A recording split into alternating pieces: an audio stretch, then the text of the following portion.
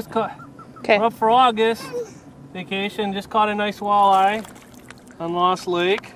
How big is that baby? Oh, it's probably a good 17, 18 incher. And lucky, there's Jack. We got our lucky charm in the Jack's boat. in the boat. What are you doing? Sleeping. Are you fishing? Catching walleye.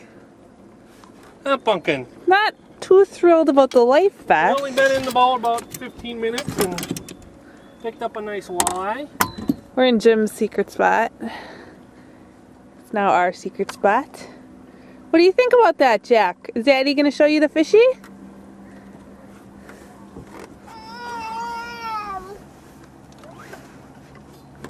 Measure up.